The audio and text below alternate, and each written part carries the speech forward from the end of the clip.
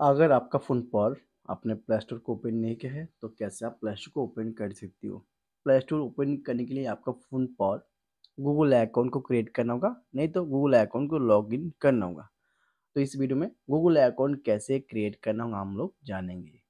तो play store open करने के बाद तो प्ले स्टोर पर जो साइन इन ऑप्शन है तो साइन इन ऑप्शन पर आपको प्रेस करना होगा। तो अगर आपके पास गूगल अकाउंट है, उस गूगल अकाउंट को इधर से आप लॉगिन कर सकती हो। इस प्रकार गूगल अकाउंट आप इधर से लॉगिन कर सकती हो। अगर आपके पास गूगल अकाउंट नहीं है तो क्रिएट अकाउंट पर प्रेस करना होगा। फॉर माई पर्सनल यूज़ पर प्रेस करना होगा। आप जो भी नेम आपको रखना है, आपका जो नेम है, आपको इधर देना होगा।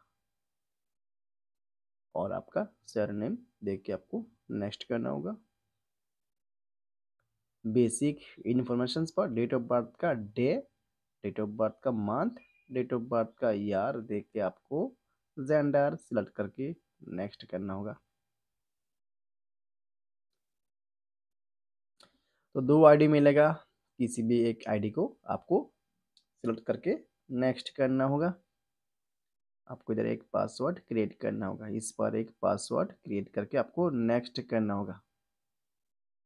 तो इस पर आपको नेक्स्ट करना होगा। यस आई एम इन करना होगा। नेक्स्ट करना होगा।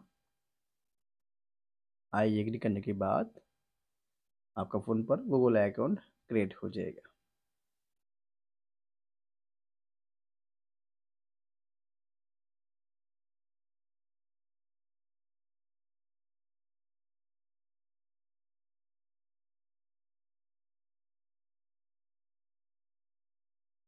एक्सेप्ट करना होगा।